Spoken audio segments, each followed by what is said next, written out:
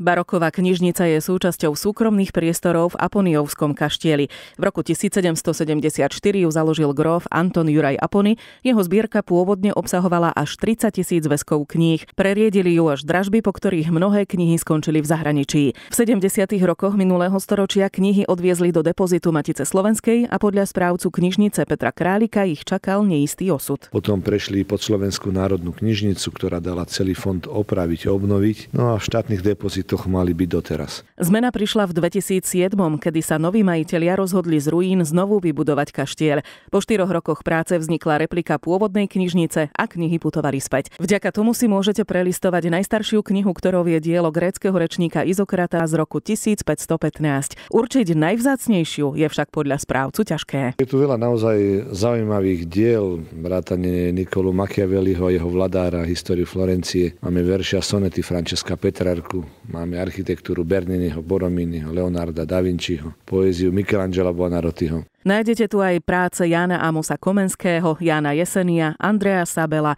ďalej práce Jordana Bruna a Izaka Newtona, tiež Goetheho, Schillera či Kanta. Vymenovať všetko by bolo časovo náročné.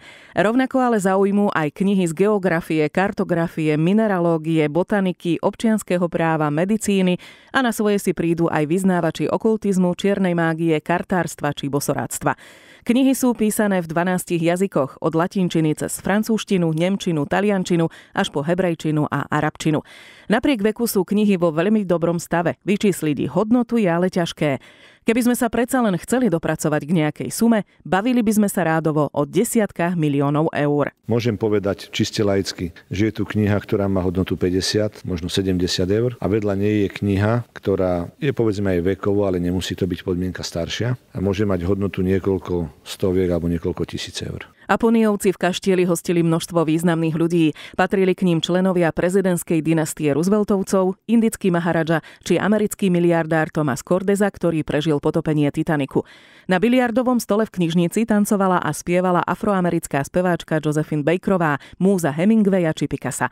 Aponiovská knižnica však nie je zďaleka jediným lákadlom v Oponiciach. Je tu aj ďalší, menší a nemenej zaujímavý kaštiel. V tom kaštieli, ktorým sa navzájom doplňame, sú zaujímavé veci. Okrem loveckých trofejí tam nájdete fragmenty amerických B-17, ktoré spadli a rozbili sa tu v Tribetskom pohorí. Dramatické udalosti z konca druhej svetovej vojny. Nad obcov Oponice je aj vyše 700-ročná zrúcanina Strážneho hradu. Legenda hovorí, že v tejto oblasti ešte predtým, než tu nejaký objekt stál, rád oddychoval Svetopluk. Údajne tu zanechal veľký poklad, ktorý však bude možné vykopať až vtedy, keď ho slovanský národ bude najviac potrebovať.